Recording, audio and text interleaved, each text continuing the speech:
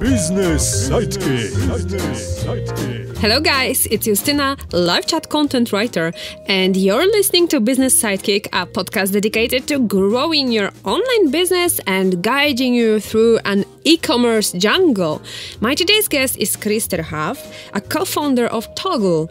Since the majority of the Toggl team works remotely from across the globe, Krister's job is to oversee everything from development to onboarding and marketing.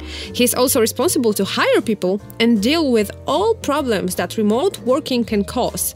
So, in today's episode, you'll learn everything about remote working, about its pros and cons, and we'll try to dispel some myths about remote working. So, enjoy! Business Sidekick. Hello, Krister. It's nice to meet you. Uh, can you please tell me something about yourself and your role at Toggl? Well, I will start with Toggl first because it's uh, it's a bit more interesting. Oh, come on. uh, yeah. Um, well, Toggl is uh, actually pretty pretty old company now because uh, we actually started out um, way back in 2000. But we started out with a different company back then, and it was a company for um, uh, providing uh, services for different companies around Estonia. And uh, of course, that meant that uh, we had a lot of clients, we had a lot of projects, and so on. And um, uh, well, it wasn't so uh, easy going, so we needed to be more productive. And so we started actually looking around for a good time tracker, and there wasn't any. So of course, we being a software company, we built our own, and um, that meant that we were happily tracking at the time. And uh, then some of our clients came back to us and said, "Hey, these are really cool reports you have there. Can we have these as well?" And we said that no, because it was a very it was a very bad uh, tool at the time. It was um, it was uh, some Windows desktop application and it was crashing all the time and so on. but we said to ourselves that um, we have been like thinking of uh, having a, a, product for us uh, for a long time now. So maybe we should just build one because there seems to be interest. And so uh, uh, the Toggl was born uh, in year 2006. so it's already 10 years old. But uh, back then, it was actually rather like a hobby project. Uh, so we, we, still had our own clients, we had own projects, we had uh, all the resources dedicated for like um, well earning money. Uh, Toggl itself wasn't very successful back then because it only had like I think uh, two, three thousand uh, paying users or something like that. But uh, it wasn't also unsuccessful to just kill it off. So we were just like muddling along. And uh, and then uh, in year 2008, when the big uh, banking recession kicked in, uh, unfortunately, that meant that uh, our uh, consultancy business lost pretty much all the all the revenue that was there. So, wait, sorry. Not a problem. Yeah. Um, so uh, we lost like 50% of revenue overnight, and uh, so we had to do something with people. We had like people uh, sitting in the office doing nothing. So we thought that, hey, we have this product, you know, let's just uh, well develop, develop this more. And that's actually uh, what we well we actually call the birthday of Toggl, which is like uh, early 2009. And from that that year we actually have been um, uh, growing uh, well three times a year pretty much every year. And uh, and it uh, it seemed that we actually hit the uh, hit the stride. And uh, since 2012 we actually we actually ditched all the other other projects we have. And from that onwards we have been just pure product company. And that's what we what we are at now it's 2017. We've got uh, well, uh, in last accounts, we've got close to 300,000 uh, daily active users, and uh, well, we've got uh, more than 50 more than 50 uh, people working for the company. So um, and and yeah, um, almost. no, it's more than half of these are actually working remotely. I'm wondering who needs a time time tracker? People who uh, work remotely? Uh, who needs a time tracker? That is actually a very, very good question. Uh, that was the one we actually have asked many times uh, over the years. But uh, actually, if we um, if we look at ourselves, uh, we were actually the prime suspect because uh, we, as a company, when we started, we were the people who were dealing with all kinds of other clients and projects. We uh, obviously we needed to know where the time goes. So actually, uh, Toggl's kind of spe- sweet spot is uh, either um, uh, companies or um, well professional consultants who need to uh, keep track of the time. Uh, so it doesn't need to be a, a remote. remote um, company at all because we have for example we have a couple of very big um, I think accounting companies that are mostly like use uh, they, these they are using it in mostly in one location but uh, these are more like uh, well Toggl is more like for uh, people who need to uh, uh, hand out either reports at the end of whatever week month or or to know if they're productive enough to be profitable. And that means that uh, it's mostly like uh, companies or uh, uh freelancers but there are actually also um, uh, quite many people uh, who are just like using it for the personal purposes. For example, there was one guy who was uh, was building a house by himself, and he tracked his time to see uh, how much will it take. Wow. Uh, yeah, that is interesting. Yeah, it is. Okay, so maybe before we get to the benefits of remote working, how about dispelling some myths? The myth number one is that remote working means that the productivity of your employees will decrease. And I wonder what can you tell about it?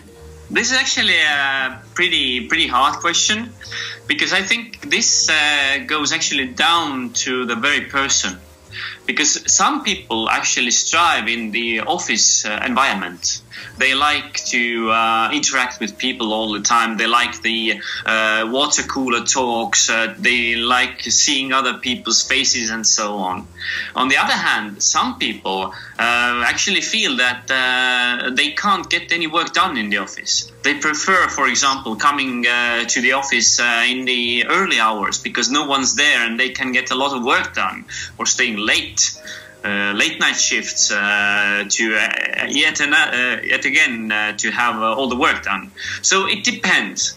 So I would say that uh, the people who are very lax about the working uh, ethic uh, and well don't like the word job too much, I think for them the productivity decreases when they when they go remote because there are very many. Um, uh, things you could do instead of working.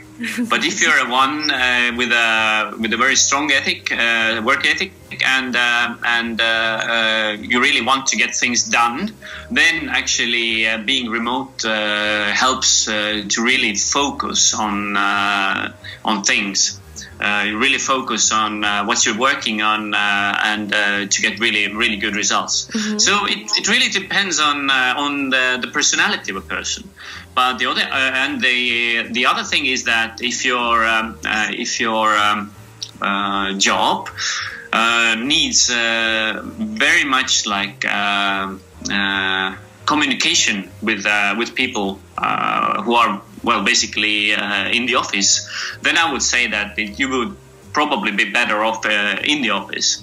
But uh, for example, uh, well, software developers, because we know them very well, software developers actually are prime candidates for being remote because uh, they can really zone off and uh, write some beautiful code and, and really, really be pro- productive when the project manager is not like creeping over the shoulder all the time. yeah, that's true. And uh, yeah, the funny fact is that if you want to slack around, then it doesn't matter if you're working remotely on in the office, right? Yeah, exactly. Yeah, and another myth that I hear very often is that remote workers are out of contact and it's not possible or it's very difficult to build a team spirit and we know how team spirit is important for company culture so what about the team spirit uh, that one actually, I believe, is not a myth. Uh, I believe this is a serious issue, and uh, this is one of the uh, biggest uh, mm, issues we are actually facing ourselves. Uh, because uh, we think that uh, working in Toggl, it's actually kind of like a, it's kind of like a close knit community. So um, uh, we really want to get along with it, with each other and uh, really uh, work towards the same goal.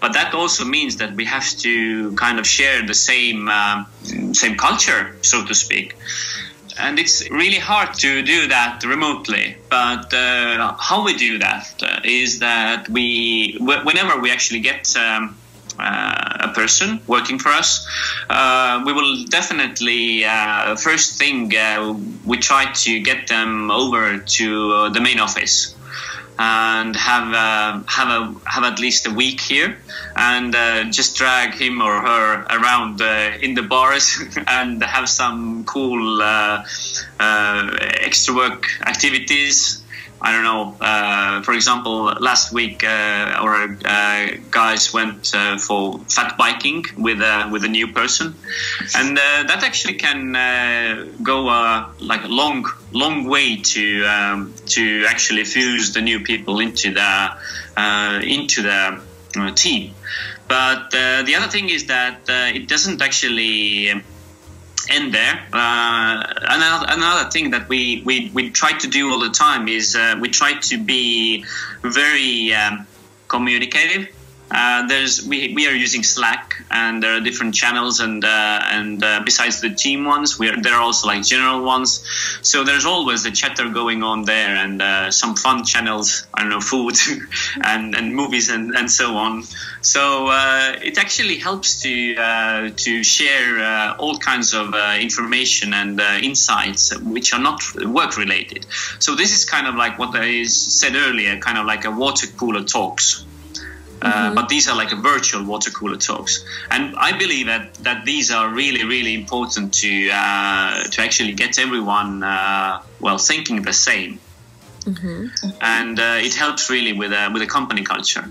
But the other thing is that we, we, we always do like uh, we actually have two company wide get-togethers each year each year. So we have one actually coming up in in April now, and there's another one coming up in in October uh, the April one will be actually held in, in Lisbon, in Portugal. Uh, in October, everyone will be here, uh, back here in uh, in Tallinn office.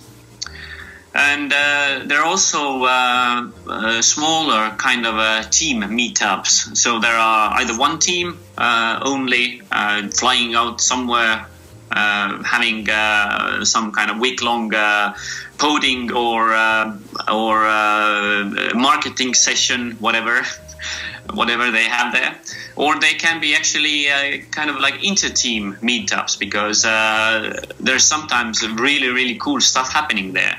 For example, if you have seen, we have this uh, really cool um, startup unicorn game. If you haven't, uh, check it out. It's on our website as well. Mm-hmm. And uh, this was done by uh, by our front end and marketing teams over the week long team meetup, and that was really really successful successful thing. So yeah, it's, it's it needs a lot of work. Uh, it's probably not um, cheap either, because the plane tickets still cost money. But it's not uh, it's not as uh, as expensive either. So I think it's really really good, and uh, it it really helps because people want to work for us and they want to stay with us, and yeah. Um, yeah. I think this is good. The funny thing is that you're talking about the budget because I was to ask you about it because one of the myths is that it's cheaper to have a remote team? Uh, yes and no. But uh, I think that uh, even before we start uh, start uh, talking about the uh, the money issues, I would actually touch first the kind of like people issue because I don't know how it's in in uh, bigger countries, but I think it's uh, it's probably the same. But here in Estonia, uh, the IT sector is actually really booming, and that means that uh, all the uh, kind of uh, developers who are well capable of programming something they have been already snapped up. And that means that all the salaries and stuff are going up. Um, on the other hand that means that there is a shortage of skills So uh, for us, it was actually uh, really, really uh, tough when we started growing because we needed more people. We needed good people, and uh, and there weren't any uh, on our market. So uh, what we did actually, we we, we, we started doing the tests, and and we actually started doing them globally, and that's really working because right now I think there are. I think there are like some diff- 16 different countries represented in, in, in Toggl. Wow! yes. That's something. Yes. Maybe let's talk about the benefits of remote working. So, as I heard, one of the benefits is that, is that you can work with uh, really talented, passionate people from around the world, right? What are other benefits? Well, the uh, from the from the company standpoint, as I said, that uh, the biggest one was that we actually uh, broke free from the uh, from uh, the confines of our very small market. Uh, and that meant that we actually we are not like hiring among one million per, persons. We are rather hiring among seven billion persons. So that means that we have a lot more um, uh, options to choose from, and uh, we have uh, really really cool people actually. so. Um, uh, this is like from the com- company standpoint. Uh, from the uh, employee standpoint, or the other other people, I would say that uh, yeah, you said the first one, which is uh, cool and talented people, uh, but also uh, a lot of uh, traveling because, as I said earlier, there will always be a lot of traveling because we need to get the people together. but also, we are sending them out to conferences and and workshops and so on because they still need to need to learn and and uh, well, be even more cool persons in the future. Uh, also, uh, they, you can work with different cultures because I think the people, well, European working culture is probably well, somewhat like uh, north-south divided. So I think that the southern people are really interested to see how the northern people work and, and so on uh, also people from different continents. Uh, and uh, yeah, in some places, uh, well, our just like the the salaries we are offering uh, are also like global salaries. So in some places, these are very very good uh, salaries for their own local mar- market. So there are many many positives, I would say. Okay, so I'm wondering, how do you hire people? Work for you? Is it is it very difficult? Well, this is a very very good question. Well, actually, um, we have been hiring. Like uh, as I said, we, we, we have been around since 2000. So uh, that means that we have been hiring uh, a lot of people. And they, well, it, first it was like very very traditional. So you just uh, go to uh, some kind of a CV um, site and scan the CVs and then send in some emails and and be very frustrated when there's no no replies and then you get someone and uh, call them to the, to an interview and uh, then it turns out they are just uh, totally unsuitable for you and so on. So it was very very hard and um, and we actually uh, well did I don't know we scanned through I think thousands of CVs and so on and but uh, the kind of return was very very poor. And um, then we thought that um, why not do uh, it uh, a bit more clever way? So we actually uh, collaborated together some kind of a, a, very very crude test and put it up in the uh, in the web and uh, and uh, advertised this in our Facebook page. And we actually got one one guy, a very very good front end programmer who is actually still working for, for us. Uh, uh, and uh, he actually came came along, and we said, "Hey, this is so cool! This is so easy." So we actually started using this test and online test, and we started. Um, uh, improving up uh, on it. And uh, now, actually, we have hired over 20 people with this with this test, mostly remote persons, but also from Estonia as well. So Uh, and we haven't actually seen a CV since.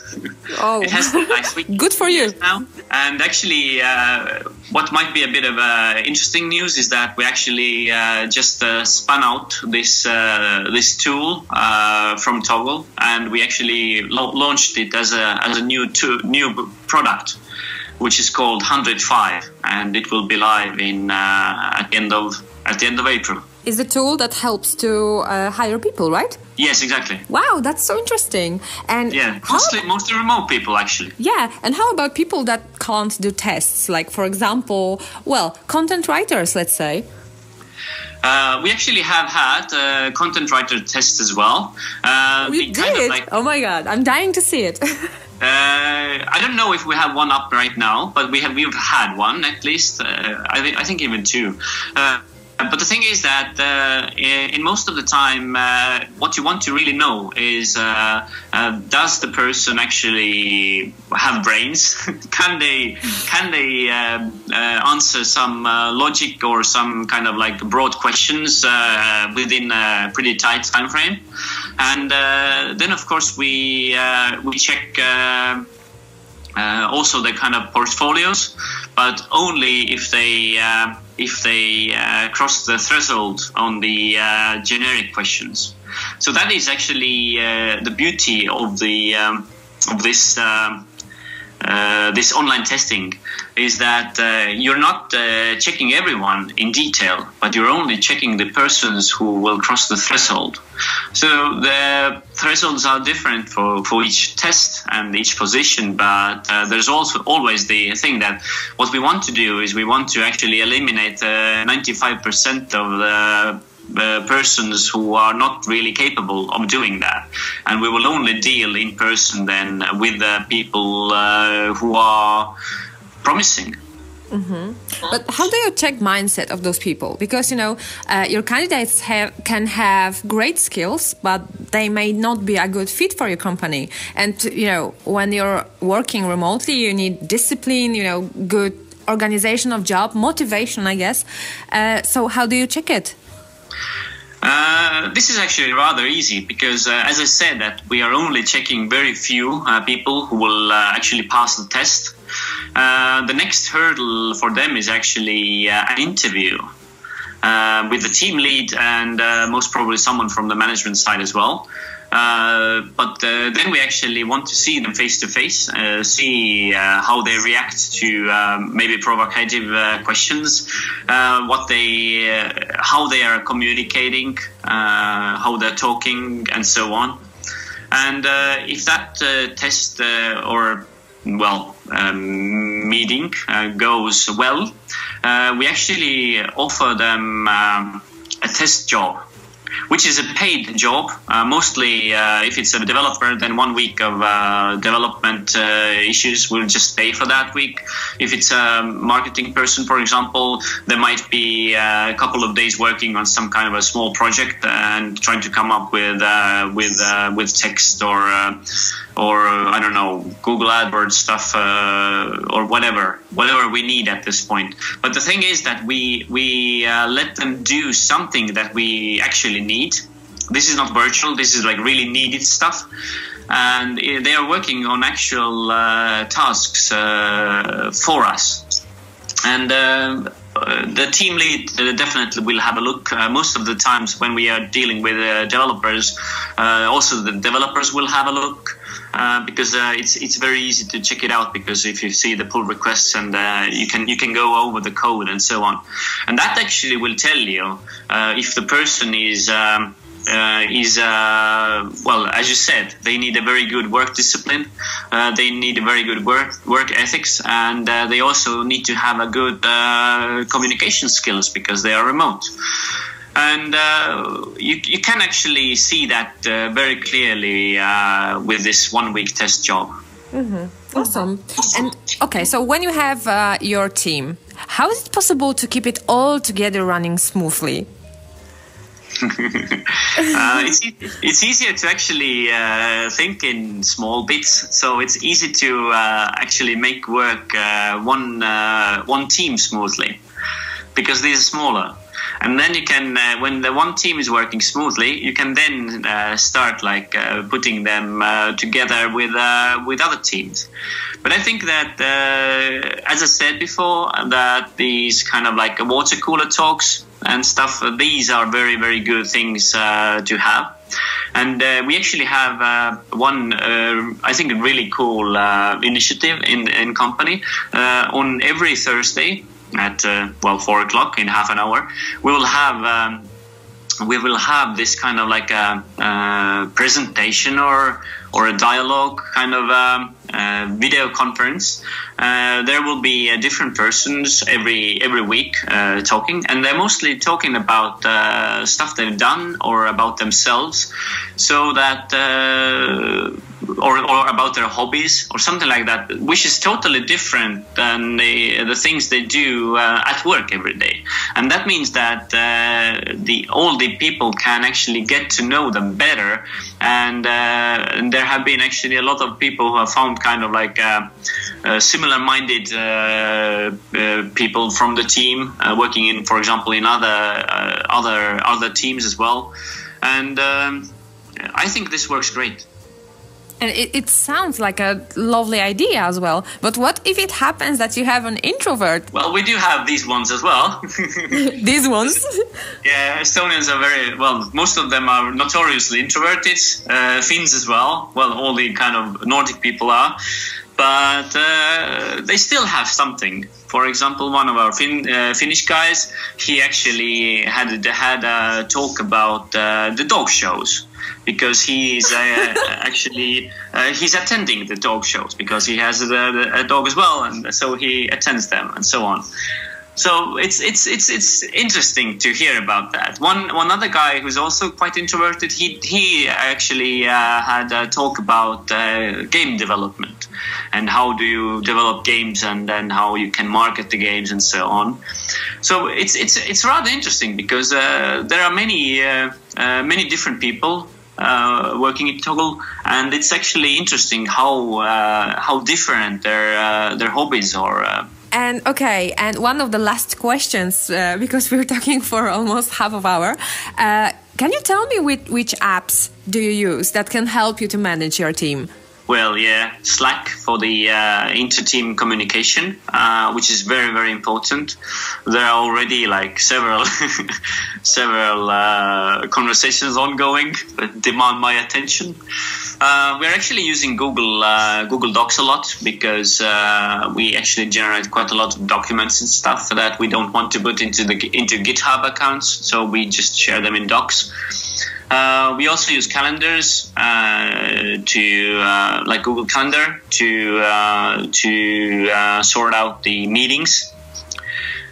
Uh, we also use Teamweek. This that's another product of ours. yeah, and that's actually if you go to teamweek.com, it's it's for planning kind of um, like a lot like. Um, we call it helicopter view planning, and it's uh, helping to uh, to plan your team members' uh, tasks for a longer time. It's not very detailed, but it's more like someone is working on this project for next couple of weeks, and then they will be sw- switching to another project for three weeks, and so on. So it's kind of like a very very broad broad uh, broad planning tool. Um, and we also use Trello a lot because. Um, well, uh, Trello is a very good uh, place to put very generic ideas and for brainstorming. And GitHub, of course, because we're a product company or development company, so we, we use GitHub a lot. Mm-hmm. Awesome. All right. So the last question: Can you just share your thoughts about remote remote working and the most important things that, in your opinion, our listeners should know? I think that the uh, the most important uh, thing for company owners or people who uh, seek employees is to actually, as I said, is to uh, stop thinking in uh, in local market terms, but uh, more like I think in global terms, and that means that you will get a lot more people. of course, it doesn't. It does mean that you can't do this kind of like a CV based CV based hiring because that doesn't work. But as I said before, we have a new product called Hundred5 that's coming up, and uh, you can actually uh, do uh, these tests like we have done for three years now, very successfully. Uh, from the uh, from the employee standpoint, I would say that. Um, uh, well, we have already actually covered most of the points, but I think for uh, like uh, working for uh, for uh, companies in different countries is actually very refreshing. You will really learn a lot about uh, different cultures. you'll meet with very different people, and I think that these actually help to perform better in in future as well. Mm-hmm. All right. mm-hmm. Thank you very much then, and thanks for the chat. Yes, thank you. Business Sidekick. That's all in today's Business Sidekick. I hope that you know much more about hiring and managing a remote team. The next episode will be published next week. And in the meantime, you can check other Business Sidekick episodes on livechatinc.com slash podcast. Don't forget to give me five stars in iTunes if you like this show. Take care. Bye bye. This podcast was brought to you by. LiveChat.